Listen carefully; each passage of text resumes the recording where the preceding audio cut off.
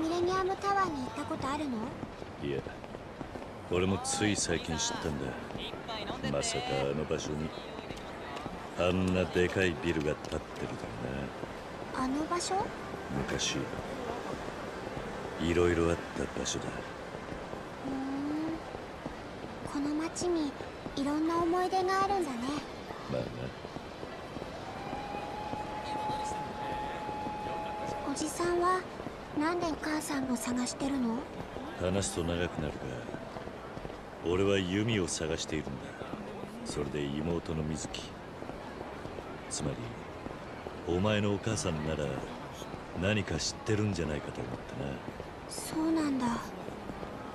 弓お姉ちゃんもどこ行っちゃったんだろう？お前はどうしてお母さんを探しに来たんだ？どうしてって自分のお母さんだよ。理由がなくちゃ探しちゃダメなの。いや野暮なことを聞いた。すまない。ちょっとちょっと。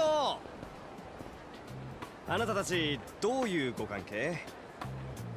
えどういうって？で何？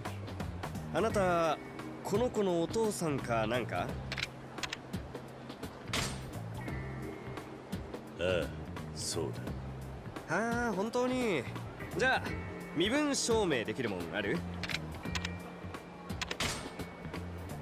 いやない。身分証明書もないの。困ったね。二人とも悪いけど署まで来てくれる？ダメだよおじさん。私ひまわりに連れ戻されちゃう。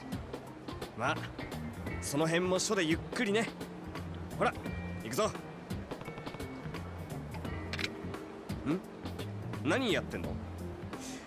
今逃げようとしたね。なんで逃げようとするんだね？あ？はいそこまで。あ？あおまわりさん。あなんだい？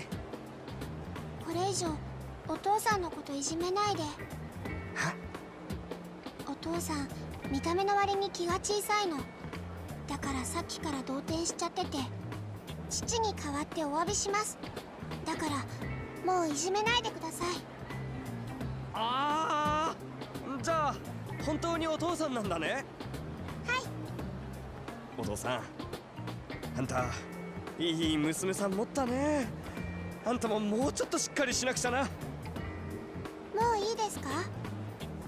ああいいよ君はお前に手紙を届けに来てくれたんだろう？ん。お母さんからの手紙毎月ひまわりに。最近弓に変わった様子はなかったか？変わった様子？うーん。あそうだ。何があった？ユミお姉ちゃん最近シャンプーを変えたかも。髪の毛すごくいい匂いがしてたんだよそっかここだよおじさん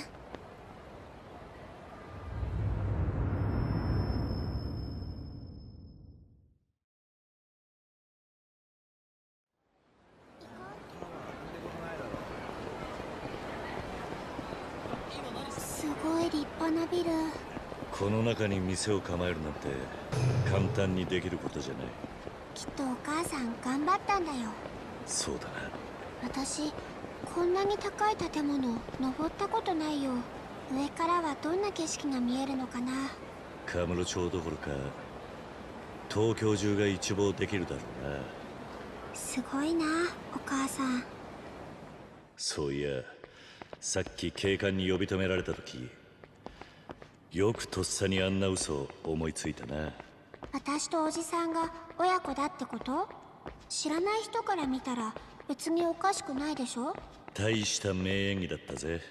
将来は女優になれるかもしれないな。さすがにそれは無理だよ。しかし俺もいつの間にかそんな年になっちまってたのか。子分ならまだしも小学生の子供か想像もつかねえな。ええ古文の方が想像つかないよ。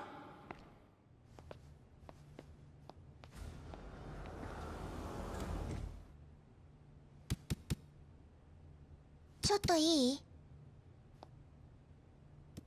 何してるんだ？おじさん60回押して。あ？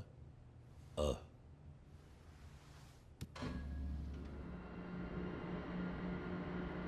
驚いたな。暗証番号か。お母さんがね手紙で教えてくれたの。お店の自慢の一つだって。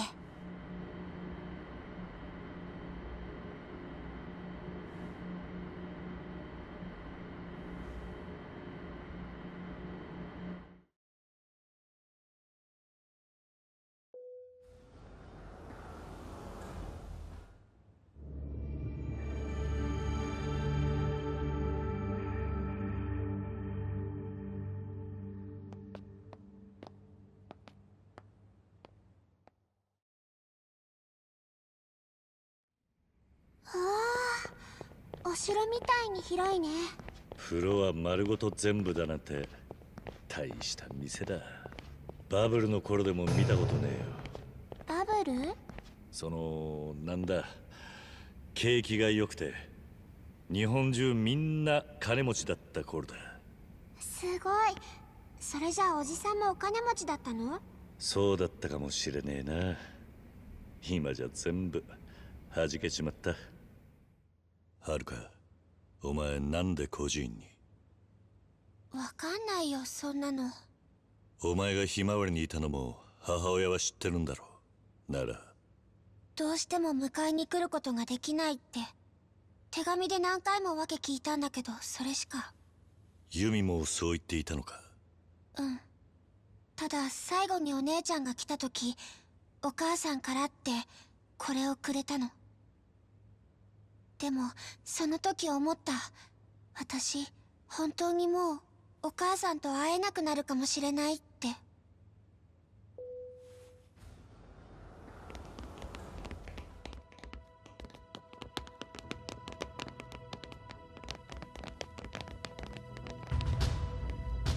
あんた桐生さんでっか？元堂島組の。お初にお目にかかりますわし五代目近江連合本部の林いまんね噂はよう聞いてますせ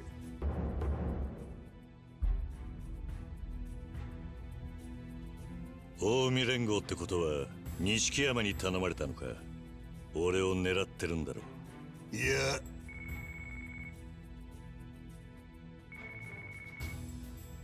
電話鳴ってますせどうぞ金銭と取っておくんなれや桐生だ。伊達だ。桐生。100億の星が分かったぞ。ユミだ。お前が追ってるユミが星だ。なんだって？現場に指輪が落ちてたらしい。指輪？ああ。10年前お前から預かったあの指輪だ。とにかく登場会は彼女とその共犯の女を追ってるそうだ。共犯？そうだ。明日セレナで話したい。大丈夫か？ああそうか。お前らも弓と水木を。いやわしらが追っとんのはそこのお嬢さんですわ。なんでこいつを？それは言えまへんな。わしも未連合のもんですさかい。桐生さんおとなしゅうその後渡したってえな。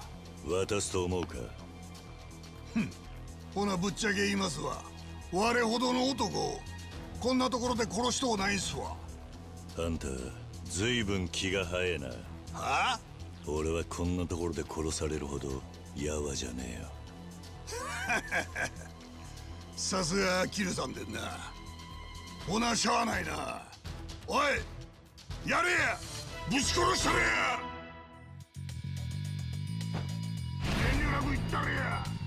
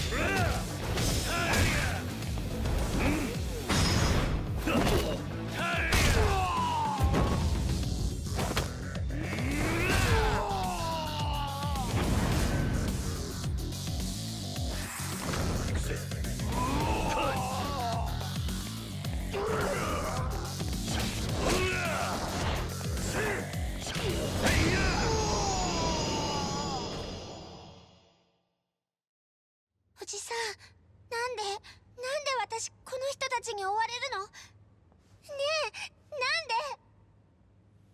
で？わからない。今はまだな。